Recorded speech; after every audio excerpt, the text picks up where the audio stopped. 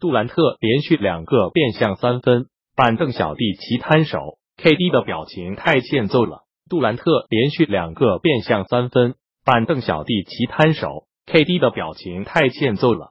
北京时间十月二十七日，勇士客场挑战尼克斯，比赛开始双方手感都不错，三分一来一回打成二十五平手，直到半场也打成五十三平。下半场死深度开始发威。一波十二到四打停对手，并连续命中三分，杀死比赛。最终勇士一百二十八比一百逆转尼克斯。今天杜兰特的手感不错，出场三十六分钟，二十四投十七中，三分球九投五中，砍下四十一分九篮板五助攻。要知道，勇士是以落后三分进入第四节，最终却大胜了对手二十八分。这主要是依靠杜兰特的发挥。比赛进行到第四节时，杜兰特持球推进，连续的几个 crossover 之后，直接干拔三分，球进得分。之后，杜兰特再次选择干拔，在两个防守人的情况下再次飙进。镜头给到勇士替补席时，